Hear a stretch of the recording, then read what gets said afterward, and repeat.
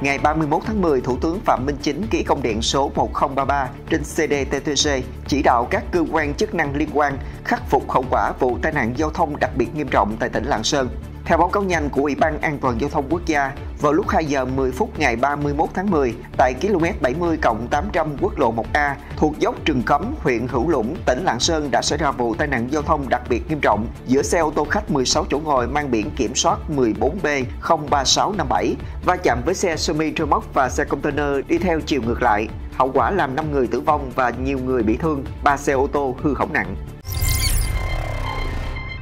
Ngày 31 tháng 10, đoàn giám sát của Thường trực Hội đồng nhân dân thành phố Hồ Chí Minh đã có buổi giám sát về tình hình triển khai củng cố, nâng cao năng lực y tế cơ sở chăm sóc sức khỏe nhân dân tại quận Gò Vấp. Báo cáo với đoàn giám sát tiến sĩ bác sĩ Nguyễn Trung Hòa, giám đốc Trung tâm Y tế quận Gò Vấp cho biết về thực trạng của trung tâm hiện nay. Theo đó, cơ sở vật chất của Trung tâm Y tế quận Gò Vấp đã xuống cấp nghiêm trọng, nhiều hạng mục có nguy cơ đổ sập chưa được bàn giao tài sản công. Cụ thể, Trung tâm Y tế quận Gò Vấp có diện tích hơn 3.800 m2, gồm 3 khối nhà, trong đó khu C là dãy nhà cấp 4 đã có tuổi đời gần 50 năm. Tiến sĩ bác sĩ Nguyễn Trung Hòa cho biết, đơn vị hoạt động luôn trong tâm trạng nơm nớp lo sợ khu C có nguy cơ sập đổ bất cứ lúc nào. Trước mắt trung tâm đã cho trào chắn khu C, các hoạt động chuyên môn tập trung ở khu B nhằm đảm bảo an toàn cho đội ngũ thầy thuốc và người bệnh.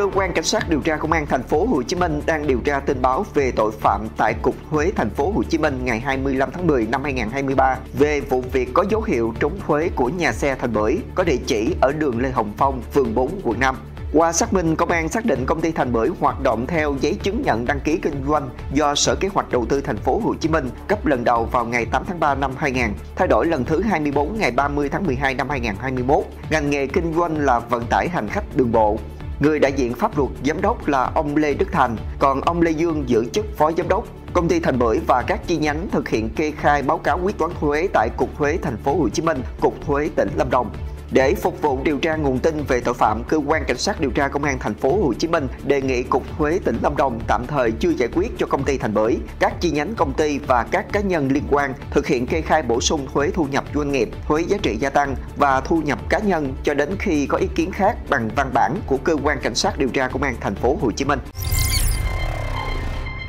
Ngày 31 tháng 10, Tòa án Nhân dân thành phố Hồ Chí Minh tiếp tục phiên tòa xét xử sơ thẩm vụ án vi phạm quy định về quản lý và sử dụng vốn đầu tư công gây hậu quả nghiêm trọng xảy ra tại Quỹ Phát triển Khoa học và Công nghệ thành phố Hồ Chí Minh. Từ tháng 8 đến tháng 11 năm 2009, lợi dụng chức vụ quyền hạn được giao, bị cáo Phan Minh Tân với vai trò là giám đốc Sở Khoa học Công nghệ thành phố Hồ Chí Minh và đồng phạm đã làm trái quy định của nhà nước về quản lý sử dụng đầu tư công trong xét duyệt vay, hỗ trợ cho công ty đầu tư và phát triển công nghệ Huy Hoàng chuyên sản xuất chip thực hiện hai dự án không đúng quy định, gây thiệt hại hơn 22,6 tỷ đồng. Viện Kiểm sát Nhân dân thành phố Hồ Chí Minh đề nghị tuyên phạt Phan Minh Tân, cựu giám đốc Sở Khoa học Công nghệ thành phố Hồ Chí Minh từ 4 đến 6 năm tù. Các bị cáo còn lại mức án từ 2 đến 5 năm tù nhưng cho hưởng án treo. Riêng bị cáo Khuất Duy Vĩnh Long, cựu trưởng phòng quản lý công nghệ đã bỏ trốn, đang bị truy nã và đề nghị mức án 10 đến 12 năm tù.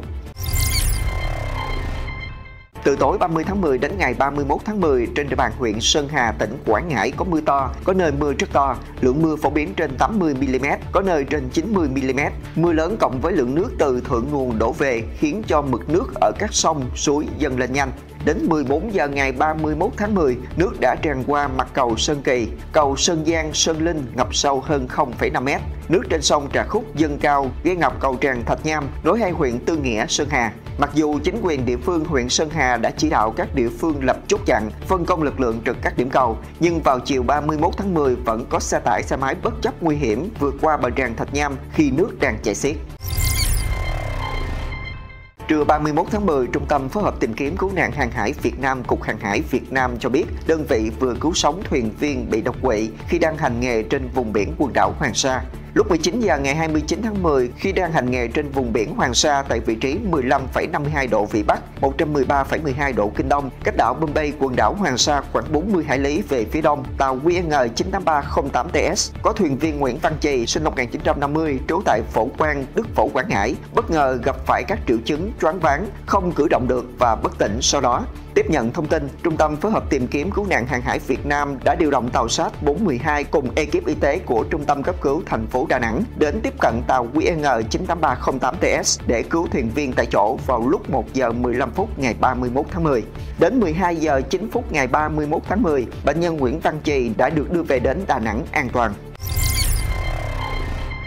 Kết quả cuộc thăm dò do đài NBC News, tờ Des Moines Register và hãng truyền thông Mediacom thực hiện tại bang Iowa cho thấy cựu Tổng thống Mỹ Donald Trump có ưu thế vượt trội với tỷ lệ ủng hộ lên tới 43%, hơn 27 điểm so với hai ứng viên là cựu đại sứ Mỹ tại Liên Hợp Quốc Nikki Haley và thống đốc bang Florida Ron DeSantis đều được 16%. Kết quả cuộc khảo sát thứ hai do công ty thăm dò Answer and Company thực hiện cho thấy 2 phần 3 số cử tri có ý định đi bầu đều bác bỏ sự nghiêm trọng của các thách thức pháp lý nhằm vào cựu tổng thống Trump. Hiện ông Trump đang đối mặt với các cáo trạng hình sự về cáo buộc nỗ lực lật ngược kết quả bầu cử năm 2020 và việc xử lý các tài liệu mật sau khi rời khỏi Nhà Trắng. Tuy nhiên, ông Trump đã bác bỏ mọi cáo buộc.